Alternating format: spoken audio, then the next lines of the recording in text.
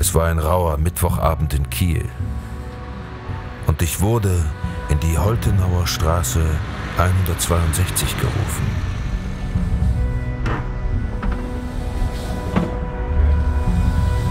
Tatort Metrokino im Schlosshof.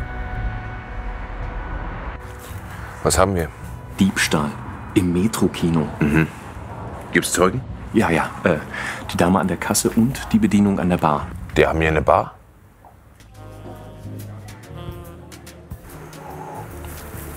Also, was ist passiert? Es war unglaublich viel los. Mittwochs ist immer unser Kinotag, wissen Sie? Da kostet ja jeder Film nur 5 Euro. Und ich hatte gerade eine Dame bedient. Eine Karte für die Spätvorstellung von Elise, bitte. Für die Spätvorstellung? Jetzt schon? Ja, ich gehe gerne vorher noch ins Café. Oh, das ist eine gute Idee. Wissen Sie was? Sie sind auch die Erste. Da gebe ich Ihnen einen besonders guten Platz. Dann wollte ich einmal im Saal 1 nach dem Rechten sehen. Ich bat also den Kollegen von der Bar, kurz zu übernehmen. Im großen Saal hatten wir gerade eine Comedy-Veranstaltung. Sowas machen wir nämlich auch. Musik, Kabarett, Lesungen. Naja, ich kam dann wieder zurück und ein weiterer Kunde wollte eine Karte für den gleichen Film kaufen. Ich ziehe die Schublade auf und da waren die Karten verschwunden.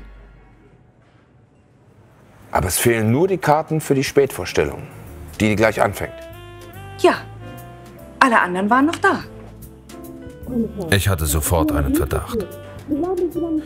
Als Kommissar braucht man eine gute Menschenkenntnis und einen messerscharfen Verstand.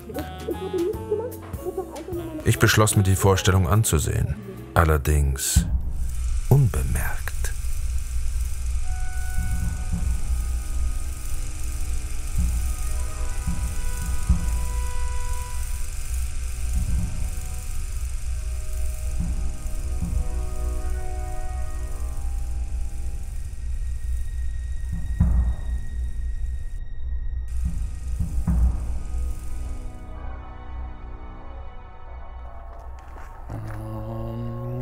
10, 11, 12, 13. 13. 13. Das ist ja ein Zufall. Wir sind die einzigen im Kino und sitzen genau nebeneinander. Wie romantisch.